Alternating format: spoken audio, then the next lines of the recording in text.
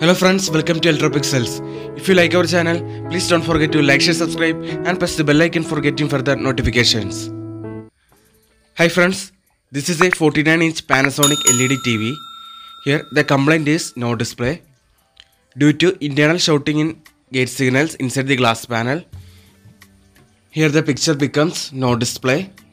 It's a 49 inch LG panel. Here you can see. Here first we applied taping method on both sides of the panel either from the left side and the right side try to block the gate signals but the complaint remains same.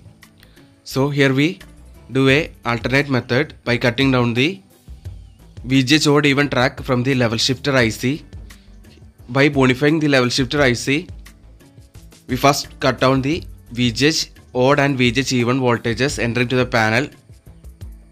Then after that here we bypass VGH odd to VGH voltage. See friends here we bypass the VGH odd to VGH voltage track. Also we block the gate signals from the right side of the panel using taping method.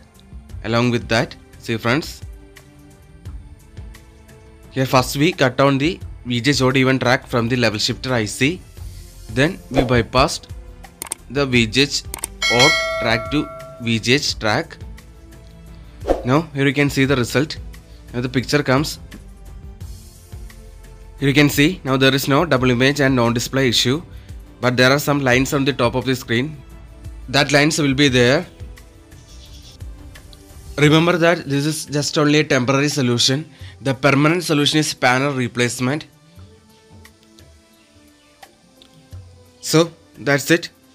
Hope you like this video. See you in another video with another interesting topics. If you like our channel, please don't forget to like, share, subscribe and press the bell icon for getting further notifications. We cannot predict how long the TV will work using this method. So at present condition, after removing the gate signal shorting by using this method, now the complaint is solved. So here we implemented taping method along with we modified the level shifter IC by cutting down the VGH odd even tracks. So that's it. Thanks for watching.